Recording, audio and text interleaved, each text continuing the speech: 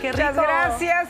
Bueno, este viernes habrá un festival de música con una gran convocatoria. Se llama One Humanity Live y durante 24 horas se presentarán 150 celebridades de todos los continentes para unir al mundo. Van a estar, miren, Maluma, Dualipa, Belinda, Ricky Martin, Eva. Longoria, Ricky entre Martin. muchos otros. Y un actor mexicano que nos representará en este concierto es Eric Bravo. Elías, con quien nos comunicamos. ¡Bravo! Eric Lili, amigo ¡Ole! querido, qué gusto me da verte. En primer lugar, ¿cómo? Mónica, Lili, te quiero. Extrañándote mucho, amigo. Tú ahí en Miami con tus nenas. Eh, Primero que nada, ¿cómo le estás haciendo esta cuarentena? Este encierro, ¿cómo lo estás Híjole. viviendo, eh? Bueno, primero que nada, les mando besos a todos por allá. Ay. Mónica, te quiero, te extraño. I y este, pues nada, pasando aquí difícil, estos casi más de dos meses que hemos estado encerrados. Dentro de todo no me puedo quejar, que nos está yendo muy bien. Hemos creo que hecho una dinámica familiar muy divertida. Eh, la he gozado muchísimo. También ha habido muchos momentos de estrés, de mucho tema de la escuela, de cómo funcionar ahora Híjole. desde casa ser los maestros. Sí. Pero bien, bien, afortunadamente todos sanos, que eso es muy importante, cuidándonos mucho. Qué bueno, mi Eric. Oye, platícame de la iniciativa, de- del proyecto que estás haciendo el día de hoy. Ya es hoy, ¿no? Ya, Viernes. ya empezó, sí, a partir, a partir de ese rato empezó, son 24 horas. Creo que es un proyecto bien interesante que eh, justamente estas 24 horas son para, para abarcar todo tipo de continentes, todo tipo de, de- de público en cuanto a música. Este, bueno, yo por mi parte compartí en ese espacio un sueño que tengo y justo con lo que estábamos hablando de lo que me ha pasado en esta cuarentena es es esa dinámica con los hijos, ¿no? Y, y eso más adelante se los voy a contar ahí en, en este live que estamos teniendo en esta fundación, pero es justamente eso de, del maltrato y que existe y todo lo que está pasando en el mundo con, con los niños. Y pues por mi lado es invitar a toda la gente a que es momento de ayudar. Claro. Este, en esta fundación se está aportando a diferentes causas. Creo que Go- Global Gift es la que está como enfocada a nosotros y hay que ayudar, ¿no? En- en- se pueden meter ahí, está live todo, 24 horas, se pueden divertir con el tema de música y por otro lado apoyando, apoyando esta causa. Así es, Eric. Te saluda Michelle Rubalcaba, amigo. Te mando un abrazo desde allá.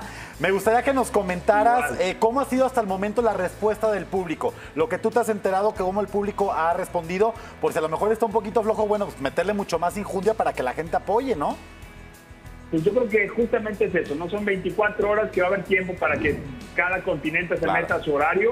Y este y ahora con las redes sociales me estoy dando cuenta de que ha habido muchísimo movimiento. Creo que este pues, eh, estamos encerrados y lo que necesitamos es, es eso, ¿no? Ver, ver cosas distintas, ver cosas positivas. Y este, esta fundación de eso se trata, ¿no? De ver sueños de las personas, que aparte de donar dinero, también es interesante ver Claro. cosas positivas y sueños de la, de la gente. Así es. Estar vibrando en un mismo canal, querido Eric Elías. Déjame decirte que el cabello largo y la barbita te sienta, pero mira, de rechupete, chiquitito. Guapote. Qué guapote que te ves. Y, y quiero preguntarte sobre estos eh, famosos latinos que seguramente se sumaron, pero sin chistar, ¿no? Y qué padre sentirnos representados de esta manera. Pues sí, yo también cuando me invitaron a ser parte de esto me sentí halagado también por un parte, por parte de poder representar a un grupo de personas que es- esto es a nivel mundial, ¿no? Entonces, pues, por parte del mercado hispano se puede decir, yo acabo de estrenar una serie aquí en Estados Unidos que me está yendo muy bien, entonces por ese lado del movimiento de, de lo que nos está pasando como latinos, pues están presentes en este tipo de, de- de mensajes positivos. Oye, Eric Silly, el- el- la serie es eh, 100 días para enamorarnos. Uy. ¿Sí? ¿Lo dije bien? Sí, Ah, bien, exactamente. Buenísima, es serie. Muy bien, eso. Bu- Buenísima, pero ya está al aire, ya la podemos ver en estos tiempos donde tenemos que estar encerrados. Pues por ahora está en Estados Unidos nada más. Empezó hace dos semanas al aire, este, y pues tengo entendido que cuando acabe el aire aquí en Estados Unidos va a ir a plataformas en México, entonces está bien padre, es un elenco bien divertido. Está Ilse Salas, Mariana Treviño, David Chocarro, Héctor Suárez Domínguez, este, Humberto Zurita. Mira, está Zurita. padrísimo, ¿verdad?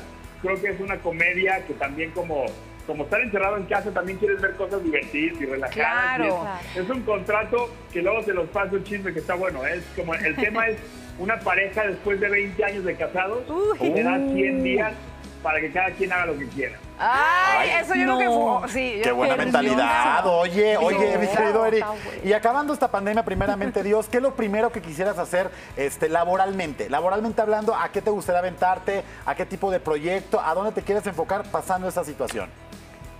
Híjole, la verdad, creo que tenemos ahorita toda una incertidumbre qué es lo que va a pasar y Eh. cuándo se va a reactivar este, este rollo de las producciones, porque pues a lo mejor la gente normal en un trabajo puede tener la distancia necesaria y, y puede como cuidarse un poquito más. Como actor, pues se necesita el contacto físico entre, entre los actores, entre las personas y las escenas, entonces estamos teniendo ese cuidado y parece que vamos a retomar porque 100 días quedó pendiente una etapa final, entonces Muy vamos a retomar próximamente ahí.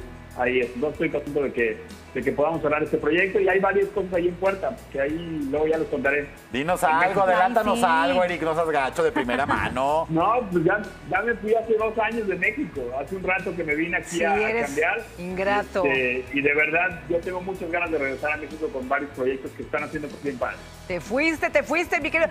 Eric Siri, para cerrar esto, eh, ahí, ahorita que estás trabajando con, bueno, que trabajaste con Humberto Zurita en esta serie, ¿cómo lo viste a él? ¿Cómo está? ¿Cómo se siente? ¿Cómo está trabajando después de la pérdida de, de, de Christian Bach? Yo sé que ya fue hace, ¿qué habrá sido, Adis? Ya va a ser un año. Ya va a ser un año, pero reciente.